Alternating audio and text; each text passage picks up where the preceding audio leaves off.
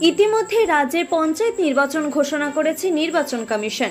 তাই রাজ্য নির্বাচন কমিশনের এখন একটাই লক্ষ্য, অবাধ এবং শান্তিপূর্ণ পঞ্চায়েত নির্বাচন করা।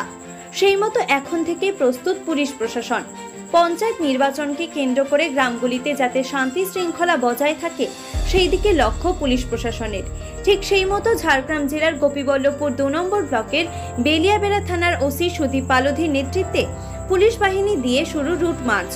যদিও নির্বাচনের দিন যত এগিয়ে আসছে, ততই দায়িত্ব বাড়ছে পুলিশ প্রশাসনের। তাই আগে ভাগে শান্তি শৃঙ্খলা বজায় রাখার লক্ষ্যে গ্রাম পঞ্চায়েতের প্রত্যেকটি এলাকায় চলছে পুলিশি রুট মার্চ। শনিবার রাত্রে বেলিয়াবেড়া থানার আম্বি, পানিপুকুরিয়া, বেলিয়াবেড়া সহ একাধিক এলাকায় চলে এই রুট মার্চ। পুলিশের এই উদ্যোগে খুশি এলাকার মানুষজন।